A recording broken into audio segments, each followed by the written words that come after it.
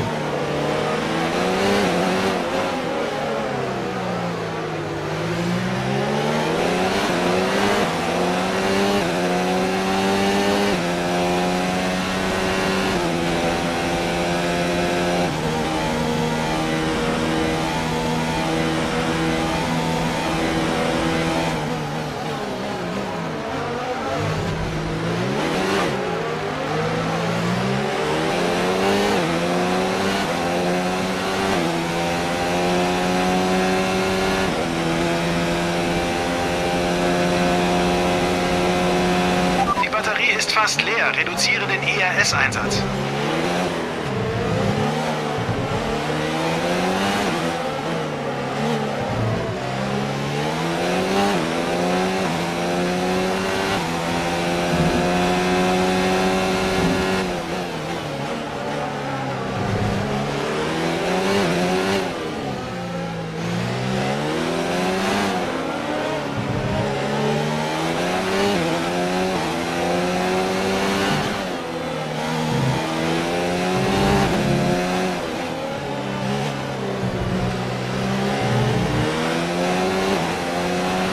Das ist deine letzte Runde, die letzte Runde des Rennens.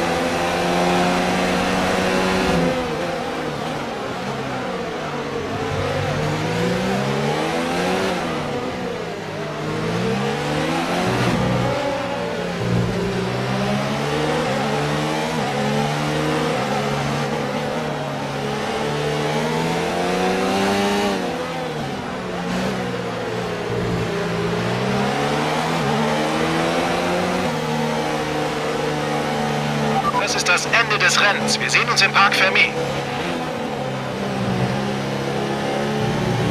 Fantastischen Sieg für Mercedes. Stefan, was hat sie im heutigen Wettbewerb von den anderen abgehoben? Ich glaube, die Umstände haben heute perfekt zum Wagen gepasst. Der Wind, die Temperatur der Strecke, einfach alles. Die Autos erwachen erst dann so richtig zum Leben, wenn die Reifen die richtige Temperatur haben. Je leichter man also diese Temperatur halten kann, desto besser verläuft das Rennen für einen. Und genau so ist es gelaufen. Der Wagen hat sich da draußen einfach wohlgefühlt. Nach einem großartigen Rennen begeben sich die Fahrer nun zum Siegertreppchen. Wieder einmal sind es die Silberpfeile, die den ersten Platz belegen. Ein wohlverdienter Sieg für Mercedes.